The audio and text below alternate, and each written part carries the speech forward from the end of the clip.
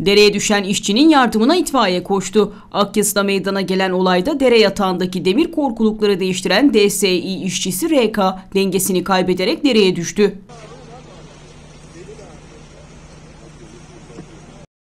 Yaralı işçiye ilk müdahalesi dere yatağında merdivenle inen ekipler tarafından yapılırken sedyeye alınan yaralı ekiplerce yukarı çekildi. Ardından ambulansa alınan RK Akyazı Devlet Hastanesi'ne kaldırılırken sağlık durumunun iyi olduğu öğrenildi.